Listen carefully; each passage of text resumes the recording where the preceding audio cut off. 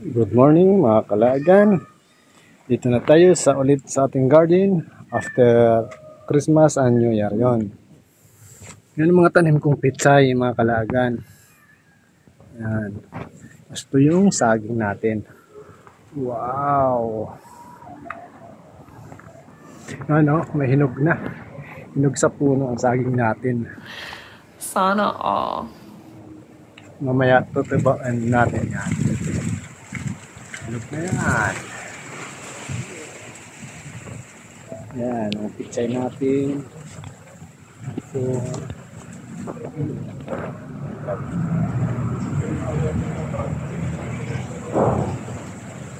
Tapos yung tubo natin, naras. Yan. May papaya.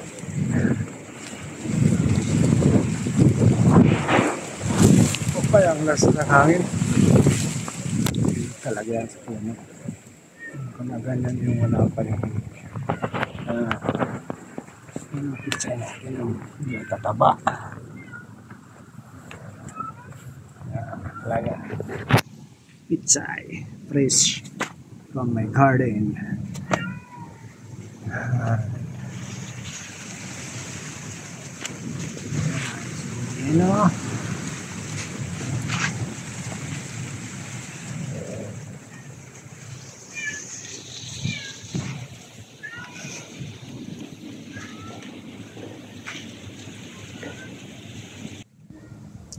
After New Year mga kalagan, di muna tayo nakapamasyal ngayon. Baka next month na, bago mag Valentine's Day, maghanap tayo na pwede natin ipakita ang isang lugar na pwede mag-date ang magkasintahan, mag-irog sa isang lugar. Kahit dito lang sa Cavite or Banda Alfonso. mga kalagan. Kaya, ngayong buwan mga kalaga, nag-focus muna ako sa aking garden kasi para malinisan at ma-harvest ang pwede ma-harvest mga kalagan. Dilig-dilig muna tayo dito sa aking garden, mga pizza. Itong pizza ay last December ko to tinanim. Ngayon, mapapakinabangan na. Kaya dilig-dilig muna medyo maaraw dito sa upland mga kalagan.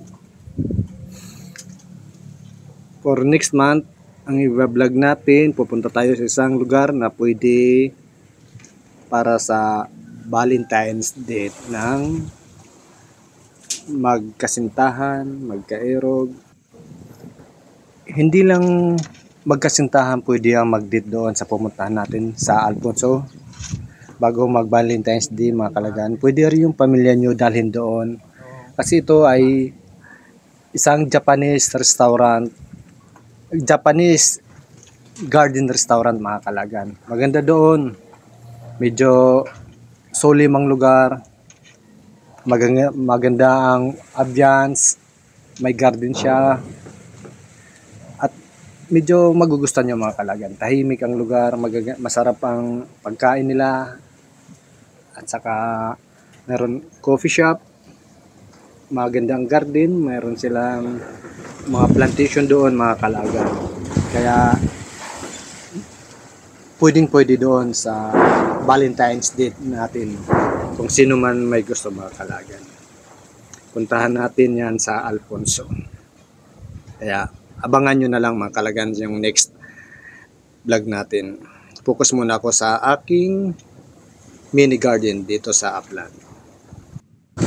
Ika nga mga kalagan, may kasabihan tayo pag may tanim ay may aanihin.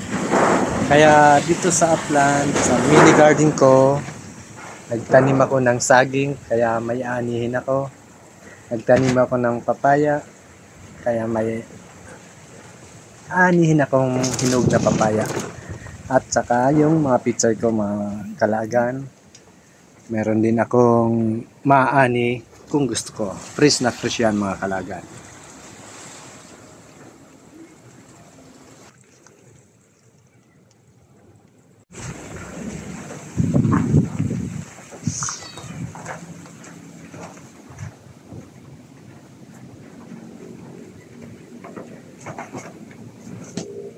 Good morning. Kasi natin.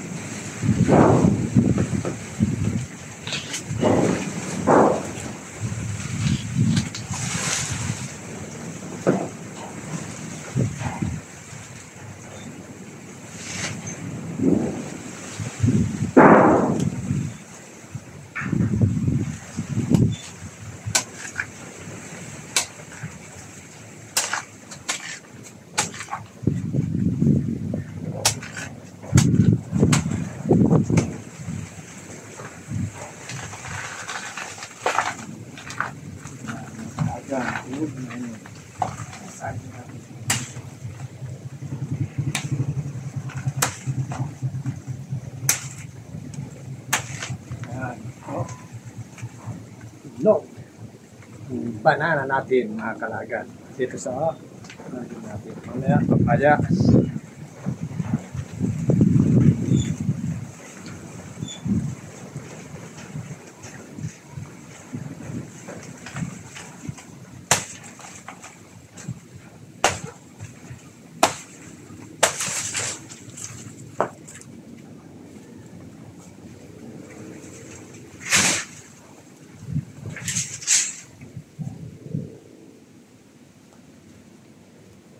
Minsan lang natin.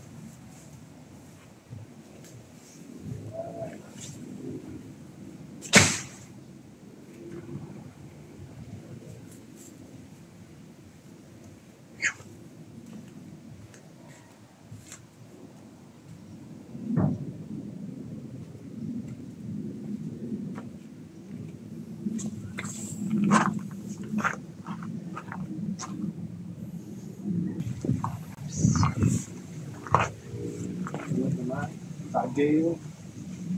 Saging.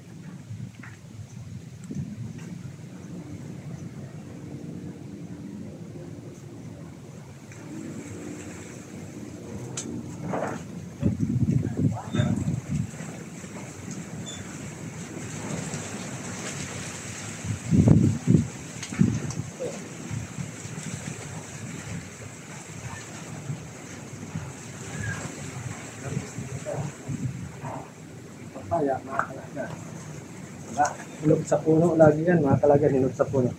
Papaya at saging. Ngayong araw, ito, yung saging natin. Hinog. Lalagyan lang natin sa sako para mabilis mahinog lahat.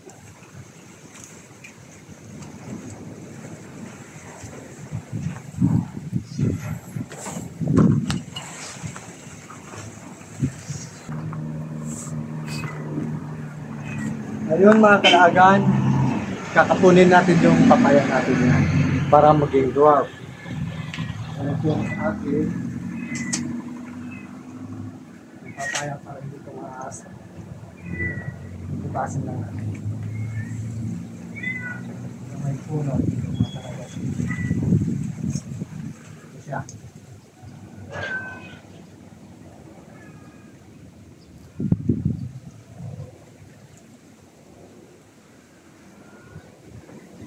Para naman maging successful.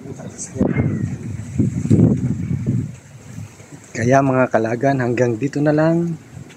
Please like and subscribe. Daagan 2021. Salamat.